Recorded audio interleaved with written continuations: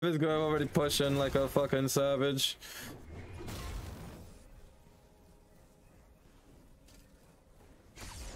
Ah!